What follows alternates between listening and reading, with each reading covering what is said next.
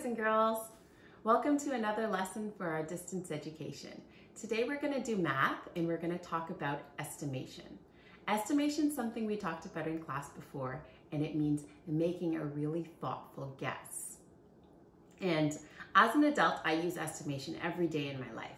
For example, when I go to the store, if I have $5 and I know that oranges are about a dollar each, I know that I can buy five oranges. When you're a kid, you use estimation all the time too. When you get to older grades, you can use it to help check your math problems to see if you've done a good job. So today we're going to talk about how to estimate using different foods that I have in my house. You'll notice that I have or three different bowls of foods that are different sizes. Can you guess which bowl has the most objects in it? The large oranges, the clementines, or the almonds? Let's work on it together.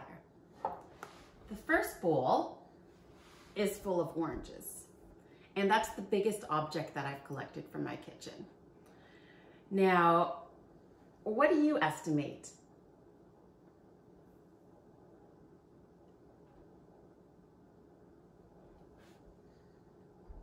This is going to be our easiest question because oranges are the biggest. So there's lots of space between them. Let's count together. One, two, three, four, five, six, seven, eight, nine. There were nine oranges in that bowl.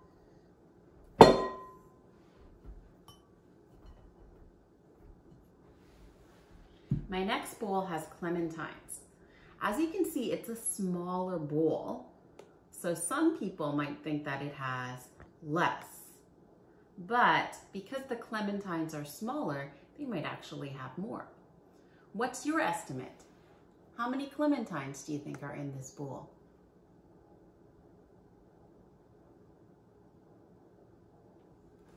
Let's count them. One, two, three, four, five, six, seven, eight, nine, 10, 11, 12. Oh, looks like there were more clementines than oranges.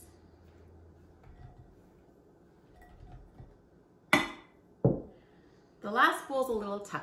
This bowl is filled with some almonds. Now, it's the smallest of the three bowls, so some kids might think that it actually has the least amount. What do you think?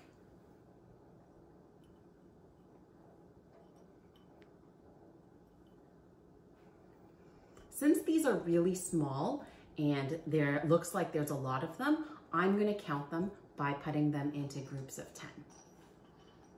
One, two, three, four, five, six, seven, eight, nine, ten. One, two, three, four, five, six, seven, eight, nine, ten. One, two, three, four, five, six, seven, eight, nine, ten. One, two, three, four, five, six, seven, eight, nine, ten, and one more. So that's one, two, three, four groups of 10, and then one more. 10, 20, 30, 40, 41 almonds. Looks like that was the most objects out of any of the bowls. You can make your own estimation jar at home with any objects you have in your house. Just try to use a big clear jar so that people can see inside and maybe shake it around and guess how many objects are inside. Once you've put some objects in your estimation jar, you can do a survey with your family to see if they can guess how many objects are inside. For example, if I put the almonds inside.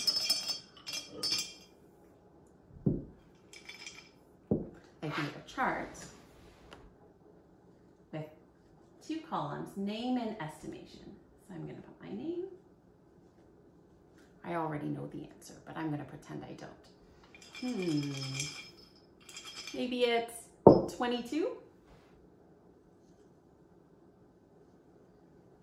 If you make your own estimation jar and put a photo up of it on our um, uh, online system, your teachers would love to guess how many objects are in your estimation jar, or you could even ask your family and friends to help you fill in a, fill in a chart. I know in my family, um, Elliot's grandpa is really missing him, so we have video chats with him. So maybe you could have a video chat with your grandparents and see if they can guess how many things are in your estimation jar. I've got one last question for you. I filled up this tiny jar with popcorn kernels that I'm going to make later tonight. So if you compare it to the bowls and the jar and the oranges, we can see that this is the smallest container, but the popcorn kernels are also super small and they're filling up the whole jar. Can you estimate how many kernels are in here?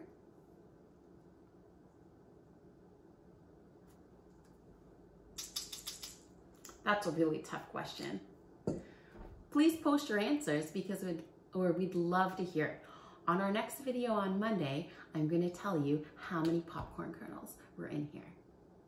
I hope you have a great weekend and you're working hard and posting your estimation jars so that we can make a guess too. Bye-bye.